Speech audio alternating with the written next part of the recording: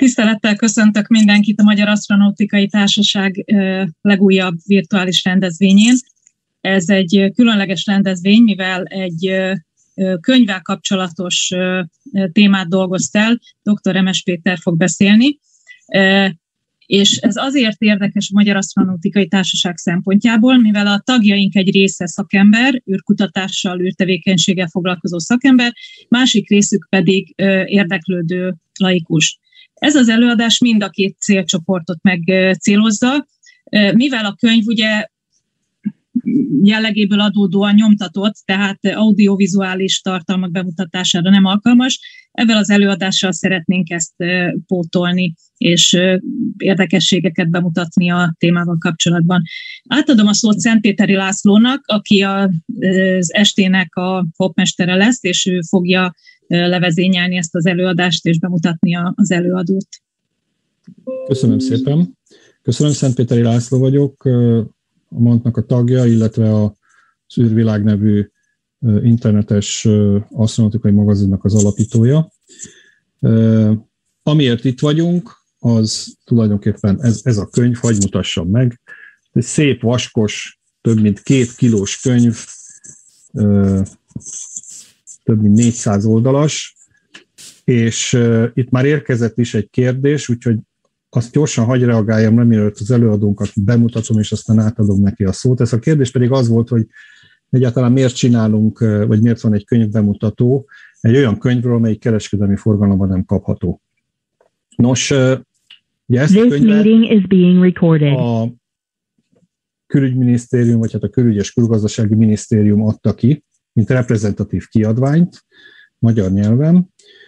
A szerzője az előadónk, és az, hogy mégis úgy gondoltuk, hogy legyen erről egy bemutató, az egyrészt azért van, mert a könyvhöz kereskedelmi forgalomban nem lehet hozzáférni. Ugyanakkor olyan információk vannak benne, amelyekről azt gondoltuk, hogy mindenképpen érdekes lehet az űrkutatás, az űrtevékenység, az űrhajózás iránt érdeklődők számára.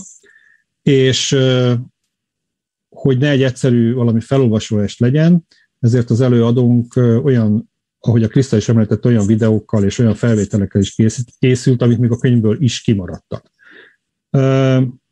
Dr. Remes Pétertől kaptunk egy felajánlást egyébként, tehát azt mondta, hogy amennyiben ez a könyv a ma este után felkelti valakinek az érdeklődését, akkor őt személyesen meg lehet keresni. Doktor úrnak van egy weblapja, a drremes.hu, ahol a doktor drvel, tehát Dénes Robert, és utána remes.hu. Aki erre weblapra fölmegy, az ott egyrészt olvashat olyan történeteket, amelyek részben vagy egészben benne vannak a könyvben egyébként, de ha ez nem elég neki, akkor kapcsolatokban megtalálja a doktor úrnak az e-mail címét, felveheti a kapcsolatot, és dr. Remes Péter felajánlotta, hogy amennyiben az illető egy ilyen nagyságrendileg 3000 forintot átutal nem neki, hanem a repülőorvosi alapítványnak, akkor az körülbelül fedezi a csomagolásnak és a postának a költségét, hiszen ez a könyv, mivel kereskedelmi programban nem kapható, ezért ára sincs. Tehát hangsúlyoznám, hogy ez a bizonyos 3000 forint, ez nem valami tiszteletdíj, hanem csomagolási és szállítási költség. Még egyszer a drremes.hu-n lehet akkor ezután kutakodni. És akkor az én szeretem most az lenne, hogy bemutassam a ma esti előadónkat. Hosszú lesz, de azért, mert egy nagyon gazdag életútról tudok itt beszámolni önöknek. Dr. Emes Péter a Szegedi Orvostudományi Egyetem elvégzése után a Szolnoki repülőtéren kezdte pályafutását. A repülő és űrorvosi ismereteit a Szentpétervári Kirov Katonorvosi Akadémián, az amerikai légierő repülő és űrorvosi tanfolyamán, valamint a NASA űrélettudományi programjában szerezte. A Magyar űrrepülés idején megszervezte és vezette a Kecskeméti Repülőorvosi Vizsgáló és Kutatóintézet funkcionális diagnosztikai osztályát, részt vett az űrhajósok kiválogatásában, majd a Kaliningrádi űrrepülések irányító központjában teljesített szolgálatot. Kidolgozta az információ feldolgozó képesség mérésének elméletét, amely alapján a Balaton műszer segítségével a világon először sikerült lemérni az űrállomás fedélzetén az űrhajósok súlytalanságban bekövetkező szellemi munkavégző képességének romlását. Részt vett az űrhajósok izomsorvadásának, fizikai állóképességének teljesítő képességének tanulmányozásában. Dr. Remes Péter 1987 és 1995 között a Kecskeméti Repülőorvosi Vizsgálós Kutatóintézet igazgatójaként teljesített szolgálatot. Tagja volt a Magyar Tudományos Akadémia Interkozmosz Tanács Orvosbiológiai Szakbizottságának, valamint a Magyar űrkutatási Tudományos Tanácsnak is. A Nemzetközi Asztronautikai Akadémia rendes tagságán kívül számos nemzetközi szervezet és tagjai sorában, tagjai sorába fogadta elnézést. Ilyenek az American Institute of Aeronautics and Astronautics, valamint a FAIA, a Nemzetközi Repülési Szervezet, illetve a COSPAR, Committee on Space Research. Jelenleg a Szegedi Tudományegyetem repülő- és űrorvosi tanszékén címzetes egyetemi docens, a graduális és posztgraduális oktatásban vesz részt. Doktor úr, kedves Péter, átadom a szót. Igen, doktor úr még kiegészített, hogy van chat, tehát ha valakinek menet közben kérdései vannak, azt ott várjuk. Köszönöm szépen az emlékeztetőt. Péter, a virtuális stage a tied. Köszönöm szépen a bemutatást, és akkor én is megerősíteném, hogy hosszas előkészületek után megjelent az első magyar űrrepülés története című könyv. Ez egy összefoglalása, emlékállítása a magyar űrrepülésnek. Tulajdonképpen a magyar űrrepülés 40. évfordulójára jelent meg, de hát a járványveszély miatt egy nyilvános könyvbemutatóra, Farkas Bertalan ünneplésére nem került sor, így most a 40 plusz egyedik ürepülés évfordulóján történik ez a könyvbemutató. A könyv hátoldalán Leonov véleménye olvasható a két magyar űrhajósról, Farkas Bertalanról és Magyari Béláról. Idézem. Nagy figyelemmel kísértem kezdetektől fogva a két magyar fiút. Elmondhatom, hogy tetszenek nekem, tetszenek minden társuknak, mint akik ma már profik, tetszenek, mint pilóták, és tetszenek úgy általában, mint jó srácok és deréklegények. Aktívak, mozgékonyak, tiszta gondolkodásúak, fizikailag is kitűnőek. Az őket körülvevő társaik közül soha senki nem kételkedik a két magyar barátunk tiszta jellemében. Nagyszerű családok, nagyszerű kapcsolatok, magas intellektus. Én egyszerűen azt mondom, hogy gratulálunk a magyar szakembereknek, akik ilyen jelölteket választottak ki, mondta a magyar űrhajósokról Leonov.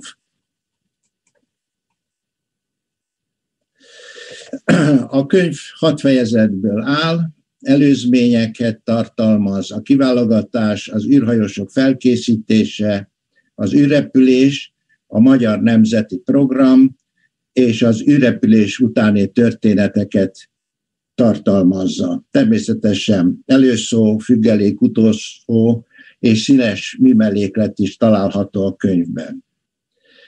Ezt a munkát Emszagó Miklós akadémikus, valamint Suminski Nándor űrszakértő lektorálta. A kiadvány a Repülőorvosi Alapítvány és a Külgazdasági és Külügyminisztérium támogatásával jött létre. Jenei Zoltán és Kelemen Ágnes munkáját dicséri a könyv külalakja, és a kivitelezés a Gyomaik NER nyomdába készült. Felmerülhet a kérdés, hogy mi közöm egy ilyen könyv megírásához, egyáltalán illetékes vagyok-e egy ilyen könyvnek a megírására, például mi közöm az űrrepüléshez.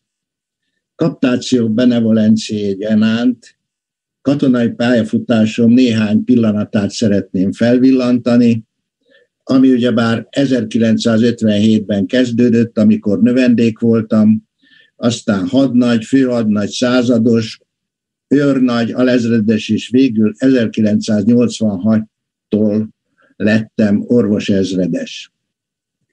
1957-ben a második Rákóczi Ferenc katonai középiskolában kezdtem katonai pályafutásomat, utána kollégista lettem a Karikás Frigyes katonai kollégiumban 1962-től, ekkor már a Szegedi Orvostudomány Egyetem hallgatója voltam, ahol 1966-ban végeztem, és ott kaptam orvosi diplomámat. Néhány perc erejéig visszatérnék a Rákóczi Ferenc katonai középiskolára, ami egy kiváló iskola volt, hatalmas eredményeket ért el a katonai nevelés területén, növendékei a Magyar Honvédség, de a polgári életben is vezető beosztásba kerültek. Kevesen tudják, hogy a hat tudomány humántudomány. Mi gimnáziumi tananyagot tanultunk, idegen nyelveket is tanultunk, én oroszul, németül és latinul tanultam. Természetesen voltak katonai tantárgyaink, mint például lovaglás, vívás, úszás, kaptunk vízijártassági kiképzést és igazolványt, mód volt a gépkocsi jogosítvány megszerzésére is. Mivel katonák voltunk, alaki foglalkozáson is részt vettünk, de a repülés és az ejternyés, ejternyőzés alapjait is elsajátítottuk. Művészetek kötelező tantárgyak voltak, festeni, színjátszás, festés, színjátszás, hangszeres zene, verselés minnyájunk kötelessége volt. A színházba járás kötelező volt, nyaranta egy hónapos országjárásra és balatoni nyaralásra mentek a növendékek. Tehát ebből látható, hogy ez a második Rákóczi Ferenc katonai középiskola egy olyan indítást adott, ami megalapozta egész életemet. Az egyetem elvégzése után ugye Kiliára kerültem, a repülőtéren teljesítettem szolgálatot, itt, itt ismerkedtem meg a magyar űrhajósokkal, akkor még természetesen nem tudtuk se ők, se én, hogy lesz magyar űrrepülés. 71-ben végeztem a Zényi Miklós Katonai Akadémia tanfolyamát, és utána kerültem ki Szentpétervárra a Kirov Katonai Akadémiára. Ennek elvégzése után Kecskeméte kerültem, a repülőorvosi vizsgáló és kutatóintézetbe kezdtem el dolgozni. A következő lépcsőfok életemben természetesen a magyar űrrepülés, aminek részese lehettem, voltam Kalinyingrádi űrrepülések irányító központjába és a Csillagvárosba is. Életem során a kísérletes orvostudományjal foglalkoztam, állatkísérletes vizsgálatokat végeztem, űrhajós vizsgálatokat végeztem, és tanulmányoztam az extrém környezeti feltételek között dolgozó ember munkaképességét. Hát a képen éppen egy MiG-21-es vadászrepülőgép van, ahol az a ö, kis szerkezet, amit a ö, szerelő itt elhelyez a katapultülésen, a fedélzeti adatrögzítés műszere volt annak idején, ez egy nagy szó volt, repülés közben a pilóták élettani paramétereit is rögzíteni tudtuk. A világon először alkalmaztuk azt az elvet, hogy minden repülőgépen van egy fekete doboz, ami katasztrófa esetén tartalmazza a repülőgép műszaki paramétereit, így következtetni lehet arra, hogy vajon mi okozta a balesetet, katasztrófát. De mindez idáig nem foglalkozott senki avval, hogy a bio fekete dobozt megalkossa, és repülés közben a pilóta biológiai paramétereit, szívműködését, légzését, hőmérsékletét, EKG-ját rögzítse, hogy katasztrófa esetén vissza lehessen következtetni az pilóta élettani állapotára. Hát ez elhangzott jelenleg a Szegedi Orvostudomány Egyetem repülő és űrorvosi tanszékének munkatársa vagyok. Most a következőkben egy 6 és fél perces, 7 perces kis filmecskét szeretnék levetíteni, ami a titkos orvosbiológiai űrkutatás kezdeteiről szól. Ebben az időben ehhez bevezetőként néhány állatkísérletes gondolatot szeretnék ismertetni. Kezdetben balisztikus interkontinentális katonai rakéták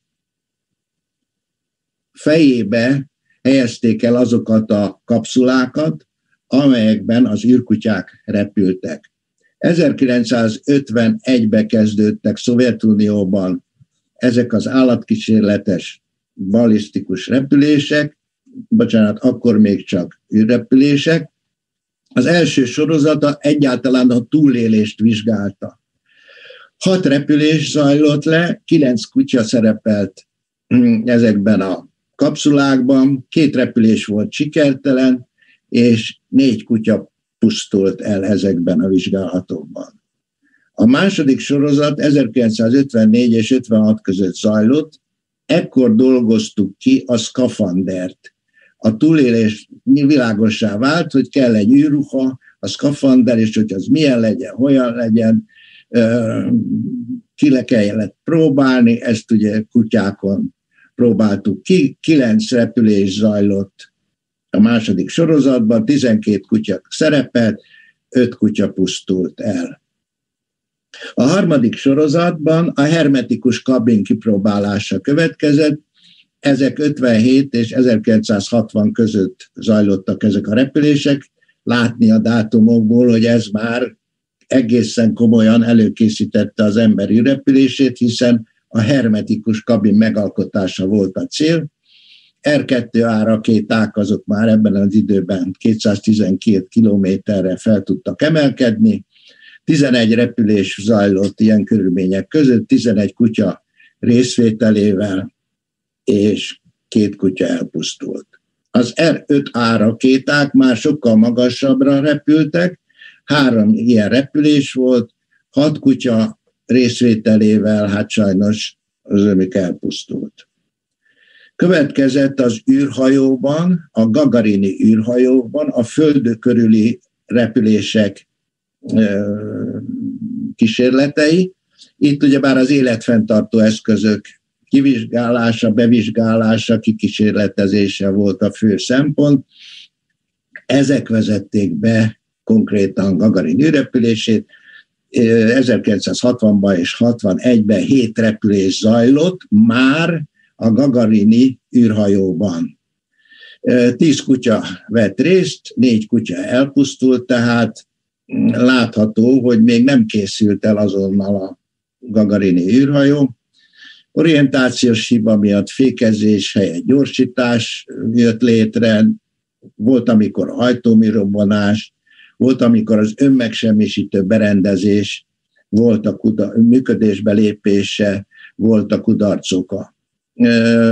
Kimondták akkori vezető űrkutatók, hogy két sikeres indítás kell ahhoz, hogy az embert útba indíthassuk az űrbe, ezért a hatodik és hetedik indítás már emberszabású manőkeneken, próbabaká, próbababákon rendes, végleges, űr szkafanderbe beöltöztetett manekeneken történtek ezek az indítások.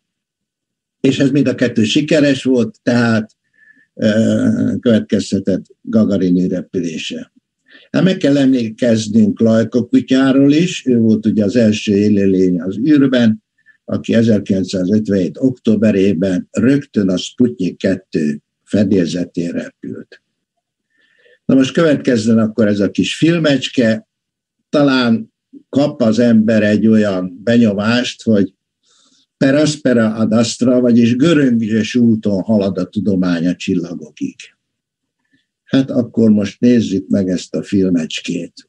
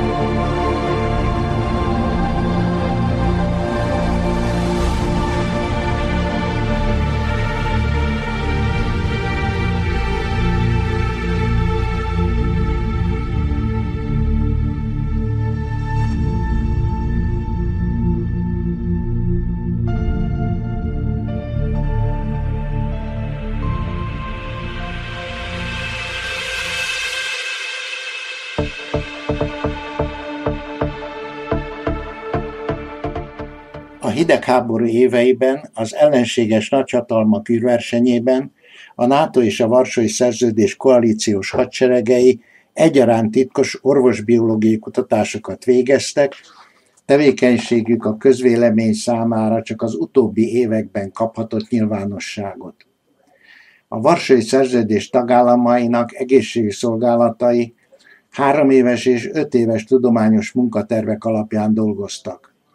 A különböző szakágakat szekciókba sorolták, a kilencedik szekció volt a repülés űrorvosi szekció, ahol a szocialista országok, köztük az űrélettudományi kutatással foglalkozó magyar katonai szervezetek is, 1957 és 1991 között ennek keretein belül végezték a szigorúan titkos, a titkos és a szolgálati használatra minősítésű kutatómunkájukat.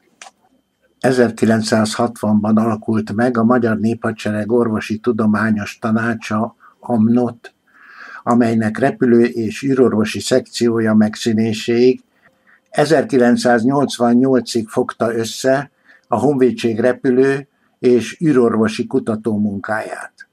A Repülőorvosi Vizsgáló- és Kutatóintézetben, valamint a Központi Katonai Kórházban folytak a hazai űrélettani kutatások. A Varsói Szerződés tagállamainak repülőorvosai 1957-től kezdve találkoztak gyakran többször is, és beszámoltak tudományos kutató munkájukról. Ezeket a találkozókat a hivatalos dokumentumok szerint hol kongresszusnak, konferenciának, vagy szimpóziumnak, hol pedig munkaértekezletnek nevezték. Minden évben más és más ország rendezte meg a találkozókat, így hét évente Magyarország is sorra került. Ezeken a konferenciákon tudományos referátumok, előadások és poszterbemutatók szerepeltek a programban. Az egyhetes munkaértekezlet záró dokumentum elfogadásával végződött, ez tartalmazta az elvégzett munkát, és meghatározta a következő feladatait. Minden tagállamnak joga volt kutatási témáját az úgynevezett témakatalógusra felvetetni, és bármelyik országot fel is kérhette az együttműködésre, de a témához egy tagállam felkérés nélkül is csatlakozhatott. A rendszer jól működött, lehetővé tette, hogy a kutatóorvosok témájukban széleskörű személyes ismerettségre tegyenek szert, és ez biztosította a gyors információ áramlást is, minden tagállam első kézből értesülhetett a legfrissebb tudományos eredményekről. A tagállamoknak érdeke volt mind témafelelősnek, mind csatlakozónak lenni, mert ezek alapján módja nyílt a kétoldalú kapcsolatok felvételére is. A repülő és űrorvosok körében kollegális szellem uralkodott, a katonapolitikai szempontok nem voltak érzékelhetők. A szovjet szakemberek annak ellenére, hogy nagyságrendileg nagyobb szervezet képviselői voltak, nem éreztették hatalmi fölényüket, a szakmai eredményeiket megosztották, és elismerően vették a többi tagország tudományos sikereit. A Szovjetunió totális képviseletet valósított meg, minden témában, minden részletkérdésben saját szakembert, felelőst állított, míg a többi tagállam a szerényebb lehetőségei szerint csak az általa művelt tudományos témákban tudta szakembereit megnevezni. A kölcsönös érdek kifejeződését mutatta, hogy a munkatervek és a beszámolók mindig időben elkészültek, és ki is osztották azokat. A tudományos szimpóziumokon elhangzott előadások valamint poszterek azonnal hozzáférhetőek voltak, és fontos volt az is, hogy a munkaértekezletet a magas szakmai színvonal jellemezte.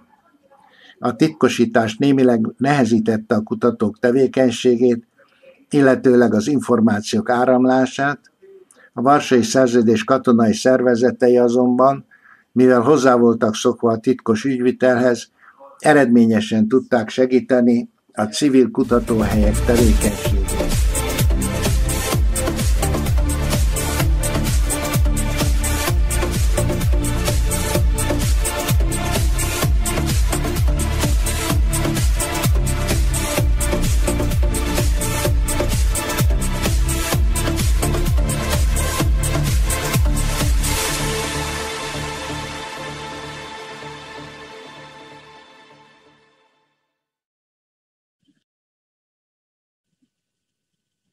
A következőben a könyv egyik fejezete a Magyar Nemzeti Tudományos Programról szól.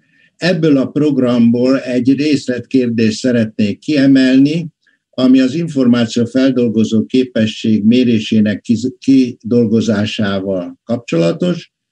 Ugye már már elhangzott, most is mondom, ennek alapján történt a Balaton műszer megalkotása, amelyik sikeresen szerepelt a világűrben. Erről is készítettem egy 15-16 perces filmecskét, most ennek a megtekintése következik.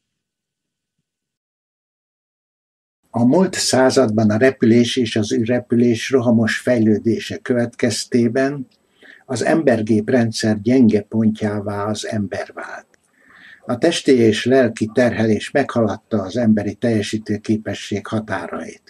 Az 1960-as és 70-es években a sorozatos rendkívüli események között még a parancsmegtagadás is előfordult, és ezek felhívták a figyelmet a személyi tényező szerepére.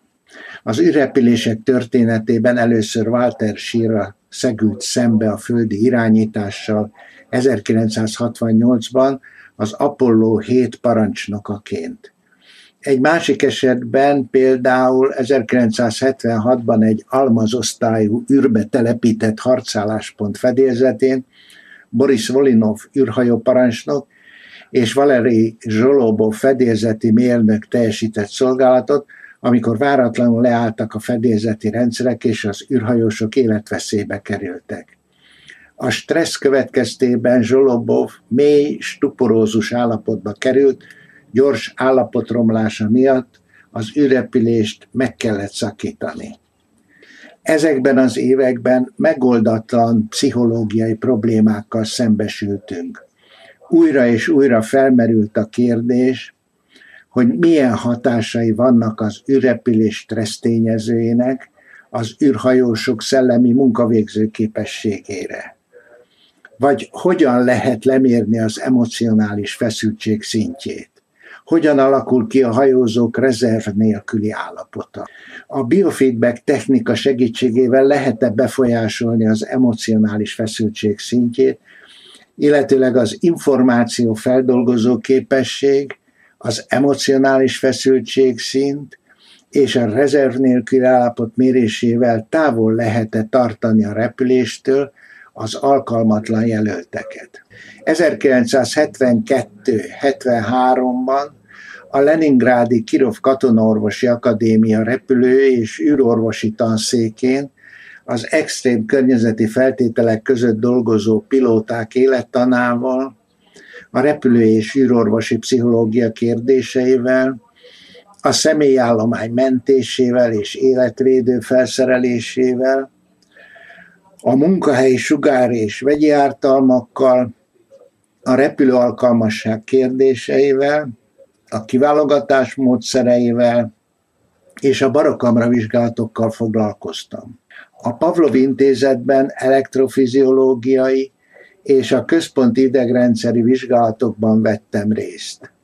Az űrkutyákon végzett állatkísérletes munkával is megismerkedtem. Tudományos kutatási témám a pilóták információ feldolgozó képességének tanulmányozásával volt kapcsolatos. Ennek során az információ feldolgozó képesség mérésére és a szellemi munkavégző képesség meghatározására alkalmas módszert dolgoztam ki. Ezek alapján készült el később itthon a magyar és az interkozmosz űrrepüléseken is jelentős szerepet játszó fedélzeti rabotoszpaszobnost, vagyis a munkavégző képesség nevű kísérlet, és a mérésére szolgáló Balaton műszer. Még ma is őrzöm az ezzel kapcsolatos munkafizeteimet és kísérleti jegyzőkönyveimet. Akkoriban papír, ceruza és logarnéc segítségével végeztük az időrabló számításokat. A komputerek világában érdekes felítézni ezeket az űrkutatás hajnalán alkalmazott módszereket. A Varsói Szerződés titkos orvosbiológiai probléma katalógusában a pakoly, nyugalom, fedő nevű fejezet a repülés előtti és alatti munkaképesség kutatásával foglalkozott. A negyedik témán belül a magyar fél végezte a pilóták szellemi munkavégző képességének vizsgálatát. Felmérték a hajózók emocionális feszültség szintjét és pszichés rezerveiket. Az akkreditív fedő nevű fejezet a pszichológiai kiválogatás tanulmányozását írta elő. A hatodik témán belül a magyar fél a prognosztikai modell kifejlesztésével és kipróbálásával foglalkozott. A hetedik téma koordinálását a magyarok végezték, a Medikor művekkel együttműködésben létrehozták és kipróbálták a KTD készülékcsalád, valamint a Reflex, Relax, Balaton, pszichokalkulátor készülékcsaládokat. Kidolgozták a KTD készülékek műszaki harcászati követelményeit, és rendszerbe állították a Varsai Szerződés hadseregei számára. Az elmélet kidolgozása során a pilóta repülőgép rendszer működését információ elméleti megfontolások alapján a rendszerbe jutó, meghatározott tartalommal rendelkező információ áramlással jellemeztem. A szignálok adása és a válaszreakciók lemérése alapján meghatároztam a rendszerben folyó információfeldolgozás terjedelmét, sebességét és áteresztő képességét. Kiszámítottam, hogy négy választásos fényszignálrendszer alkalmazása esetén minden egyenlő valószínűséggel, de véletlenszerű sorrendben adagolt fényfelvillanással két bit információ feldolgozására késztethető a vizsgálati személy. 1975-ben a Kecskeméti Repülőorvosi Vizsgáló és Kutatóintézet, a ROFKI, illetőleg a Medikor Művek Kutatófejlesztő Intézete együttműködési szerződést kötött egy speciális repülőorvos igények kielégítéséhez szükséges készülék fejlesztésével kapcsolatban. A vizsgálati metodikát a ROFKI-ba dolgoztuk ki, majd hamarosan elvégeztük a szükséges vizsgálatokat, illetőleg kidolgoztuk az IFK vizsgálatára alkalmas műszerrel kapcsolatos találmányi bejelentés elméleti alapjait és annak gyakorlati vonatkozásait. A készülék először Magyarországon, később az Egyesült Államokban is szabadalmi oltalmat kapott. A repülő és űrorvosi specifikáció alapján a Medikor művekben el is készült először Reflex néven, az IFK mérésére szolgáló műszer, amely már galvanikus bőrellenállás meghatározására alkalmas mérőegységet is tartalmazott. Relax néven pedig a komplex táskadiagnosztikai készülékbe is beépítették. Ez volt a KTD-11F nevű műszer. Az IFK műszernek a Medikor 1976-ban adta a Balaton nevet. Ez a műszer az akkori nagyméretű elektroncsöves és tranzisztoros orvosi műszerek világában csúcs technikának számító kisméretű mikroprocesszoros készülék volt. A 420 g súlyú könnyen kezelhető eszköz három részből állt, reakcióidőmérőt, pulzusszámlálót és galvanikus bőrellenállás mérőt is tartalmazott. A programozható mikroprocesszor számos vizsgálati metodikát tartalmazott, és képes volt a vizsgálati eredmények kiszámolására is. Akkoriban ez a programvezérelt orvosi vizsgálati metodika és a real-time azonos idei adatfeldolgozás orvostechnikai újdonságnak számított. Hanggenerátora egy fülhallgatóban volt hallható, véletlenszerűen előállított magas és mély hangokat tudott előállítani, ezáltal az IFK mérések közben hangzavarást is lehetett alkalmazni. A figyelemmegosztás közben a rezerv nélküli állapottal arányos módon nőtt a hibázások száma, csökkent a bitsebesség és a feldolgozott információ mennyiség. Az aktuálisan mért számmal a fülhallgatóban hallható hangot modulálni is lehetett, így a biofeedback és a relaxációs vizsgálatok végzésére is alkalmas volt, illetőleg autogén tréningre is lehetett használni. Valerij Kubaszov, szovjet űrhajós, Farkas Bertalan társa visszaemlékezéseiben így számolt be erről. Külsőre egy hordozható számológéphez volt hasonló ez a műszer, amelynek kijelzőjén számok és betűk jelentek meg. Ezekre kellett reagálnunk a megfelelő gombok lenyomásával. Sokféle programot teljesítettünk, az egyszerűtől a bonyolultig. Ezen kívül fülhallgatón a műszer morzehangokhoz hasonló rövid és hosszú jeleket sugárzott, amiket össze kellett számolnunk. Ez megosztotta a figyelmünket és nehezítette a feladat teljesítését. A műszer összegezte a teljesítményünket. Ebből az orvosok adatokat kaptak arról, hogyan alakul az űrhajósok információfeldolgozó képessége különböző feltételek között.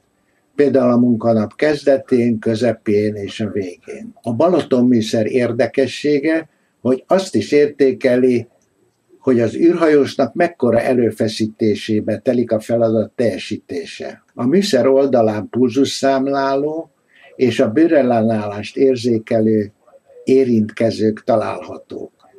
Amennyiben a kéz ujjai izzadni kezdenek, a bőrellenállás csökken, a műszer azonnal rögzíti, hogy a kliens feszült, ha bár a teljesítménye még normális. A pulzusszám emelkedése pedig a fülhallgatóban, mint egy visszacsatolás képpen egyre magasabb hangú jelet generál, a műszer ezt a pulzusszaporulatot is érzékeli, és a visszacsatolással relaxációra figyelmeztet. Egyúttal egyszerűbb feladatokat ad.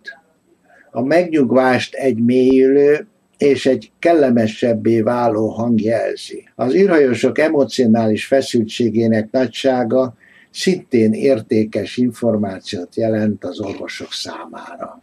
A Balaton készülék folyamatos fejlesztése során a Balaton M, Balaton 1M és a pszichokalkulátor voltak a legsikeresebb modifikációk. A készülékeket a Medikor művek sorozatban gyártotta.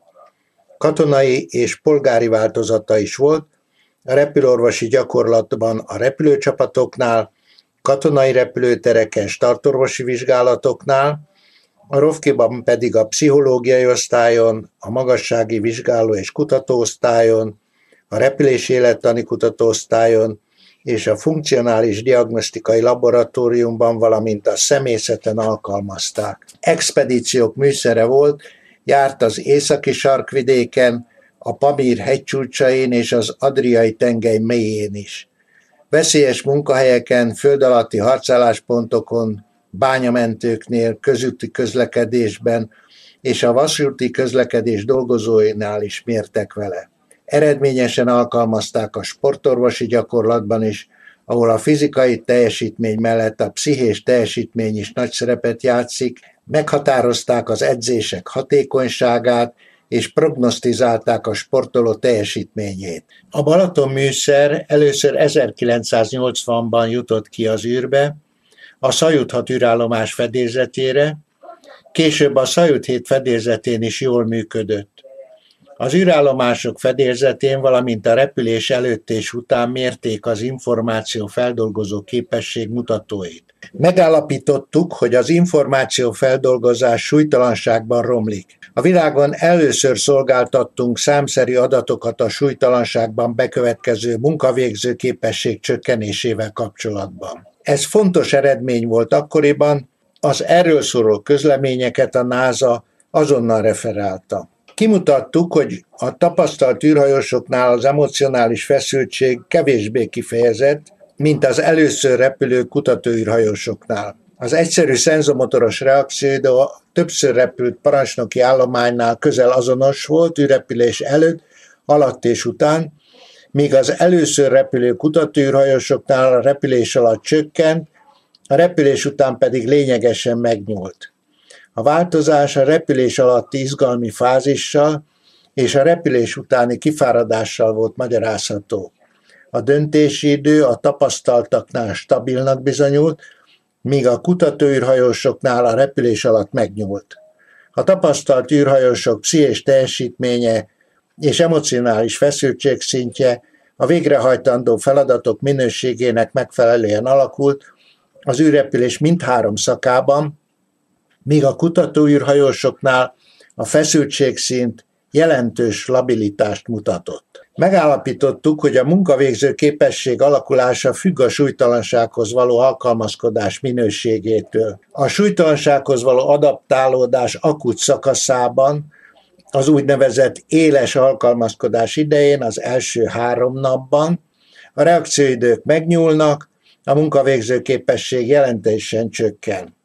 A negyedik naptól kezdődően a pszichés munkavégző képesség fokozatosan növekszik, alakulása a munkanap dinamikájában azt mutatja, hogy a munkanap elején és a munkanap közepén a legmagasabb.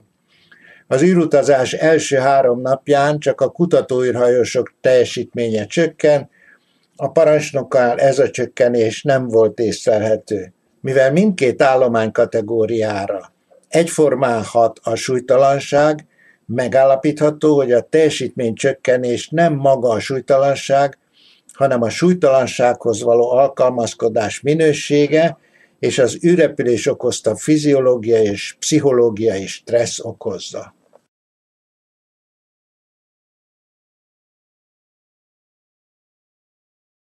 Nyilvánvaló, hogy a elért eredmények az űrhajós kiválogatásban nagyon fontos szempontok, és hát a jövőben is ezeket az eredményeket fel lehet használni.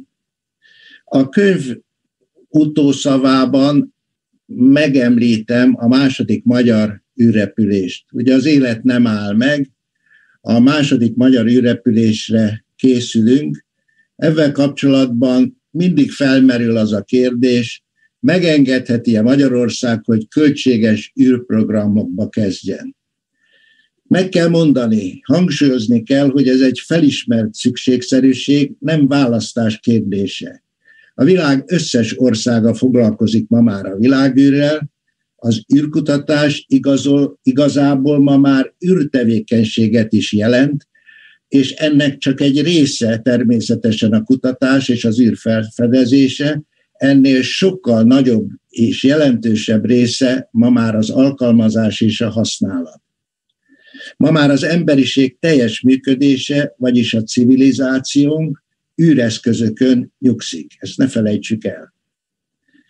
Az erőegyensúlyjal kapcsolatos az a gyakori kérdés, miért kell nekünk az űrkutatás? Például azt a pénzt a szegénység felszámolására kellene fordítani. Nyilvánvalóan tájékozatlanság rejlik a kérdés mögött. A válasz erre az, hogy Magyarország biztonsága megköveteli, hogy a környező országok szintjére emelje védelmi képességét.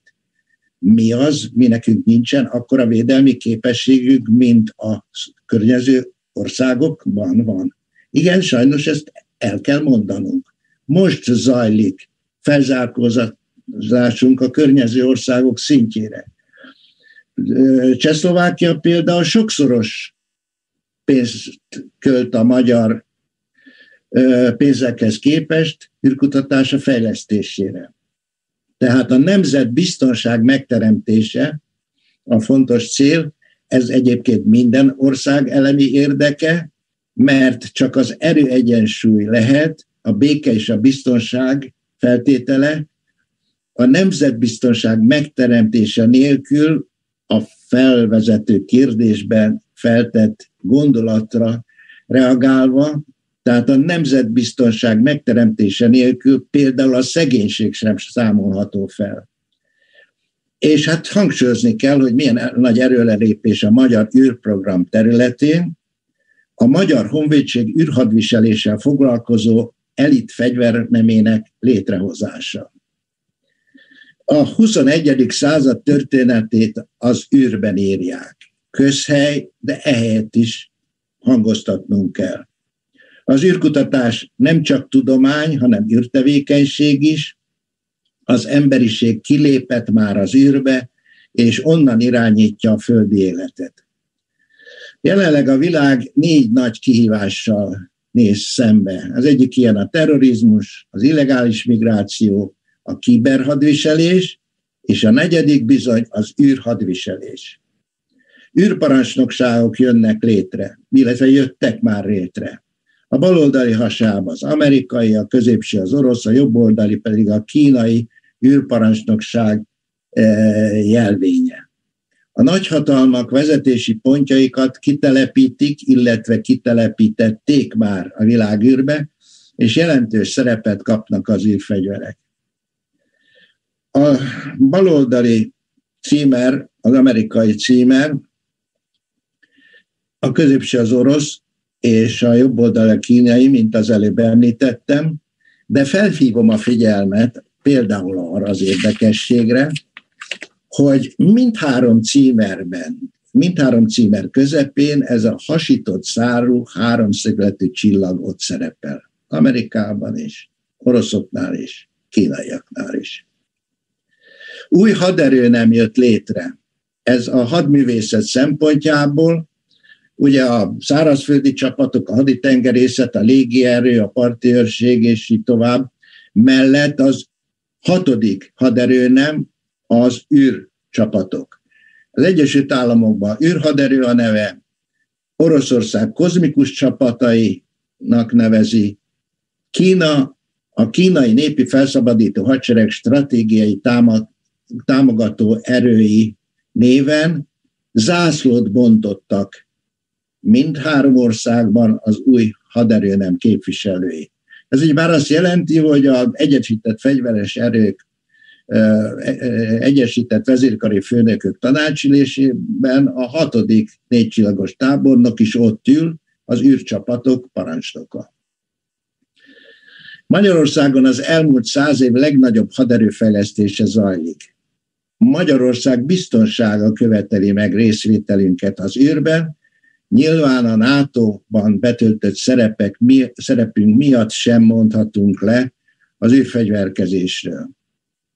És hát itt kap jelentőséget az, hogy tíz magyar honvédtisztel létrejött a Magyar Honvédség új űrhadviseléssel foglalkozó fegyverneme, amit ez év május 6-án jelentettek be hivatalosan, nyilván nem véletlenül, a közvélemény számára.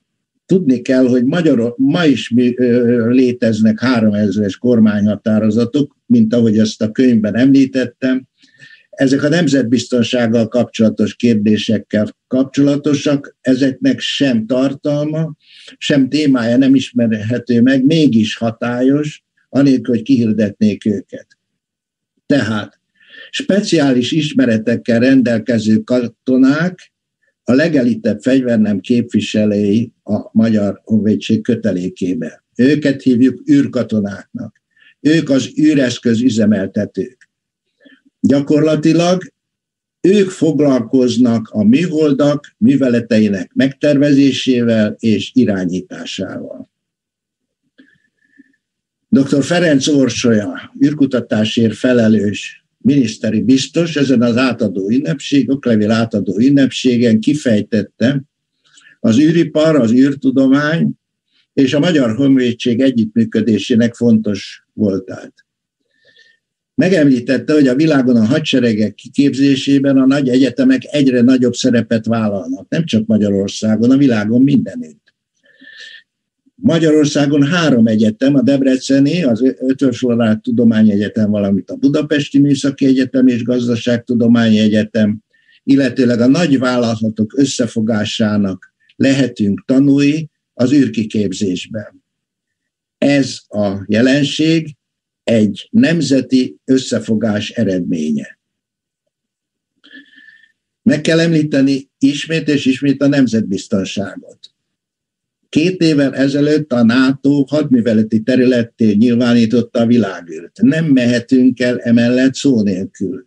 Nem tehetünk úgy, hogy mi ö, nem veszünk ilyenben részt.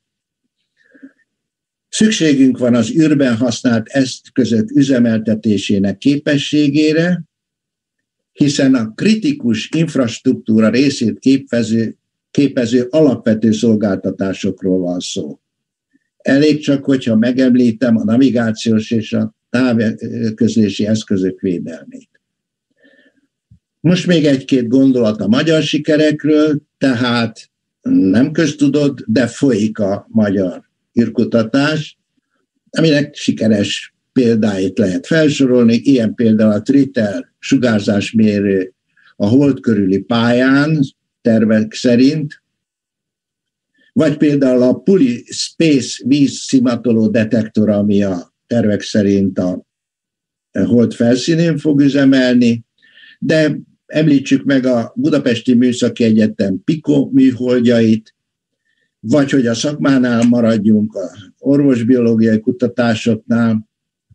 Van a remdesivir antiviáris anyag magyar vizsgálata az űrállomás fedélzetén, ami zajlott, illetőleg lezajlott. Hát ez nem nehéz a COVID, elleni járvány, a COVID járvány elleni védekezéssel összekapcsolni. És hát magyar sikernek tekintjük azt is, hogy növeltük az Ézában a jelenlétünket, a befizetéseinket megnégyszereztük, mielőtt hallanám a kérdést, mondom, hogy ez nem kidoltott pénz. A visszatérítés elve alapján a magyar cégek és kutatóintézetek ezt a pénzt a magyar űrszektorban használják fel. Négül befejezésül a második magyar űrrepülésre egy gondolat, egy-két gondolat. Hangsúlyozzuk ennek a jelentőségét, hogy ez nem csak a propaganda ö, szempontból van jelentősége, hanem gondoljuk meg, fontoljuk meg. Az egyetemeken és kutatóintézeteken keresztül ez a második magyar űrrepülés katalizálja már ma is, és fogja is a magyar high-tech szektort, Magyarország versenyképességét a világban. A tervek jelenlegi állása szerint, ez ugyebár a politikai helyzet függvényében időről időre változik, jelenleg az mondható el, hogy az évtized közepén lesz magyar űrhajós az űrállomás fedélzetén. Meg kell említenünk, hogy negy nemzetközi versenyfutás zajlik feljutni a ISS-re. Felbecsülhetetlen értékű ugyanis az az űrben végzett kutatási idő, amivel esetleg egy ország, egy nemzet rendelkezik. És természetesen nagyon befolyásolja a magyar űrrepülést is, a második magyar űrrepülést is, az űrmisszió hossza hány hónapig lesz fönt, hiszen zsúfolt menetrend létezik évekre előre beosztva, amihez berkerülni, bejutni nagyon nehéz. Diplomáciai tevékenységre van szükség, ez bonyolult jelenleg is zajlik, hiszen változik állandóan a nemzetközi erőegyensúly. A Szajúz menetrend szerinti járatok mellett ugye köztudott ma már a SpaceX és a NASA repülések is bekapcsolódtak a versenybe, és hát az Ézának is vannak önálló űrrepülési törekvései. A magyar tudományos tartalom elkészült, a terv elkészült, ennek a részletes kidolgozása zajlik napjainkban. És hát jelentkezhetnek a magyarok is, mivel ézatagok vagyunk, Éza űrhajósnak. Tehát két magyar űrhajós reménységünk lehet. Az egyik a nemzeti űrhajós, ami a saját űrhajósunk, a másik pedig az a magyar ember, aki esetleg beválik majd Éza űrhajósnak, és az Éza szabályai, felhatósága és munkaterve alapján fog esetleg repülni. Hát ebben értem mondandóm végére, és hát nagyon köszönöm a figyelmet. Hát nagyon, nem tudom, hallani engem, Péter? Igen, jól hallom. Köszönöm szépen. Én nagyon szépen köszönöm. Hát egyrészt fantasztikusan tartottad az időt, tehát szerintem tisztán 50 percet sem beszéltél, ami azt jelenti, hogy maradt idő kérdése, nem tudom, Kriszta, itt vagy? És vannak kérdések? Itt vagyok. Nem, nem láttam kérdést. Nem látták kérdést. Nekem igazából egy van, ami, hát ha akarod, bulváros, de majd próbálom úgy előadni, hogy azért érezzük, hogy ez miért fontos. Uh, igen, ez egy, ez, egy, ez egy jó ötlet, hogy kapcsolja a kamerát. Valóban. Talán most már látható vagyok, köszönöm. Ugye az emberiség, ha most személyzetes űrrepülésekről beszélünk, uh, nem maradhat örökké a bölcsőjében a Földön, mint ezt tudjuk. Szeretnénk majd megkódítani a naprendszert, vagy még kijebb jutni, már pedig akkor a fogantatás a világűrben az nyilván egy kritikus kérdés. Valószínűleg a témának a, a akár a szexualitási volt miatt, akár a személyiségi joga, joga okán én nem nagyon látok sem magyar, sem angol nyelvű ismeretterjesztő irodalomban ezzel kapcsolatos cikkeket. Nyilván szakirodalma van ennek. Amennyire én tudom, ilyen állatkísérleteknél eléggé az derült ki, hogy súlyos degenerációk történnek akkor, hogyha egy fogantatás a világűrben történik. Mit lehet erről tudni? Illetve, hogyha ezt emberekre fordítjuk meg, akkor hol tartunk ma most? Ott tartunk, hogy minden tűzzelvassal akadályozzuk meg a fogantatást mondjuk a föld körüli pályán? És ha ez így van, mik a reményeink arra, hogy mondjuk egyszer benépesítjük a naprendszert? Hát ketté választanám a dolgot, a kérdésre a választ. Tehát az egyik, ugyebár ennek a genetikai vonatkozásai, a másik pedig az emberi vonatkozásai. A genetikai vonatkozásokkal kapcsolatban igen széles körű és igen pontos és fontos vizsgálatok folynak, nyilván sejten, sejttenyészeteken, állatkísérletekben, hogy megoldást találjunk a sejtosztódás és a gravitáció összefüggéseire, és megoldást találjunk a sejtosztódás és a sugárkárosodás kérdéseire. Tehát mindenfajta vizsgálat van, mindenfajta eredmény van. Ezek arra utalnak, hogy kritikus a sugárkárosodás a genetikai, a sejt genetikájában, és kritikus a gravitáció megléte, nem léte, a súlytalanság a sejtosztódásban. Véglegeset nem lehet mondani. A kérdés emberi vonatkozása, tehát az ember szaporodása súlytalanságban és az űrben. Fontos kísérletek zajlanak, hát amiről én tudok, ez parabolapályákon rövid időre el, előidézett súlytalanság állapotában a, a szexualitás mechanikai kérdéseit tisztázzák jelenleg. A másik eh, vizsgálat, amiről tudok, az pedig a súlytalanságban zajlik, tehát itt a, a szexualitás testi tünetei és a nemi vágy kérdéseivel kapcsolatos vizsgálatok zajlanak. De elméletileg, és hát ebben kapcsolatban akkor folytatom itt gyakorlatilag is, alapkutatások szintjén eh, rendkívül részletekbe menően folynak ezek a vizsgálatok. Én voltam olyan kongresszuson, ahol egy komplet szülőszobát mutattak be, arra, eh, arra a feltételezése alapolva, alapozva, hogyan kell kinézni egy szülőszobának a súlytalanság. Tehát az izoláció, a fertőtlenítés, a, a, a, a szülés mechanizmusának milyen módszerei lehetnek.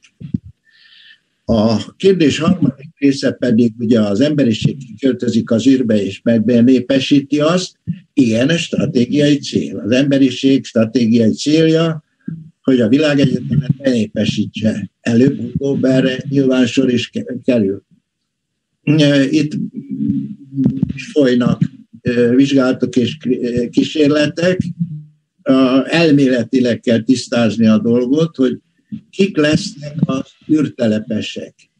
Olyan emberek, akik kirándulni elmennek a űrbe, utána visszatérnek a földre és élik tovább életüket, vagy olyanok lesznek az űrtelepesek, akik elhagyják a földet, megtelepednek valamilyen űrobjektumon, akár természetes, akár mesterséges űrobjektumon, és ott élik világokat úgy, hogy közben az környezethez való alkalmazkodás során elvesztik életképességüket a Földön, tehát soha életben nem térhetnek vissza a földi gravitáció milliójében. Az űrkutatás hajnalán is volt egy ilyen vakvágánya a orvosbiológiai kutatásoknak. Kezdetben azt hittük, hogy azt kell tenni, hogy az űrhajóst segíteni kell a súlytalansághoz való alkalmazkodás során.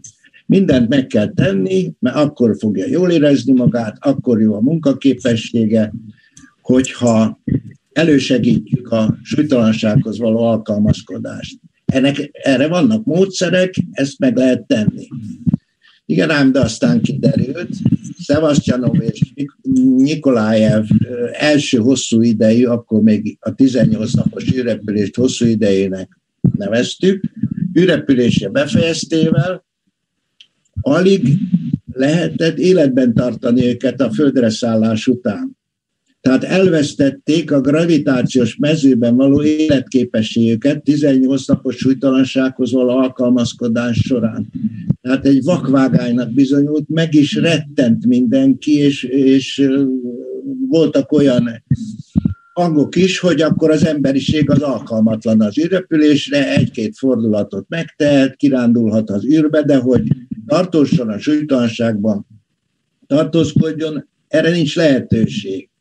Nikolájevet háromszor kellett a sztyeppén újraéleszteni a klinikai halál állapotában.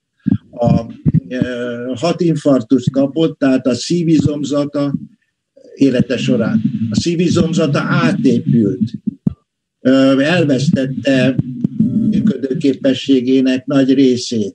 Izomsorvadásuk volt, testsúlyokat elvesztették, minden, amit el lehet képzelni, és vizsgáltunk abban az idejében, hogy hogy változik a szervezet, minden változott, minden degenerálódott.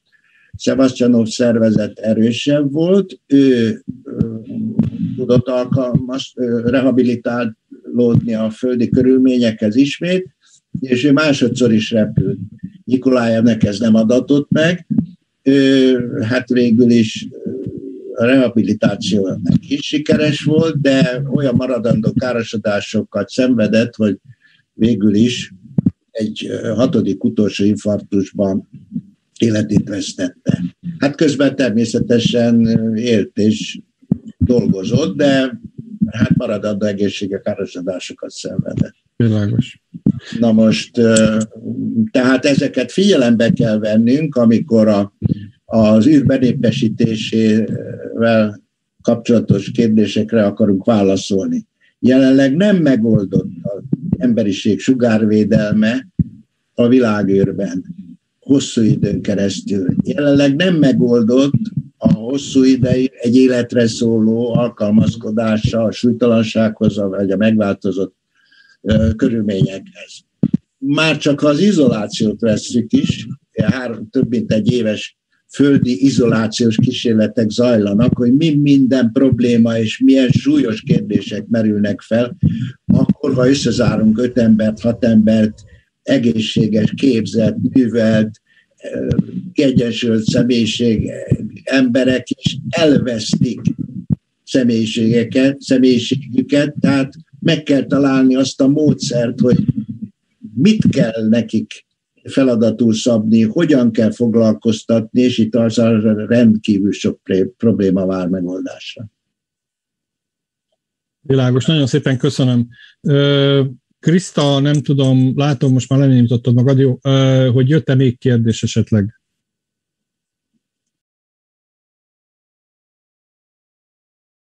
Kriszta, be kéne kapcsolni most a mikrofonod. Igen, elnézést kérek, Semmi csak gond nem volt némi technikai problémám, Igen. nem jött kérdések, egy-két köszönet érkezett, hogy érdekes volt az előadás. Jó, rendben, akkor, akkor én is tulajdonképpen szeretném megköszönni a előadóknak, dr. M.S. Péternek.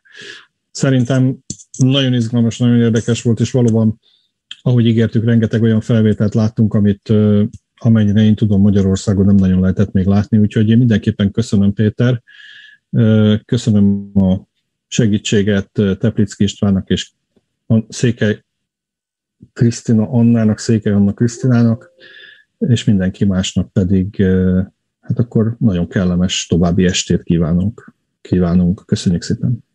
Viszontlátásra! Viszontlátásra!